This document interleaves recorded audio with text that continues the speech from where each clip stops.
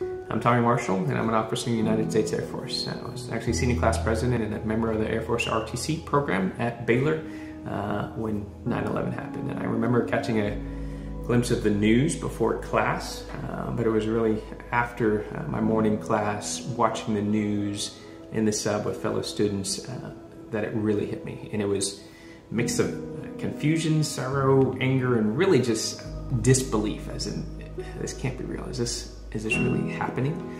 Um, and, I, and I can tell you, uh, just looking back uh, 20 years at a moment that's really defined my profession, with the global war on terrorism and Operation Enduring Freedom, uh, what sticks with me is uh, really this sense of resolve and togetherness and unity um, that our country showed in the immediate months that uh, that followed as we united against a common enemy. And really, that's a sense of togetherness that we, quite frankly, haven't seen since.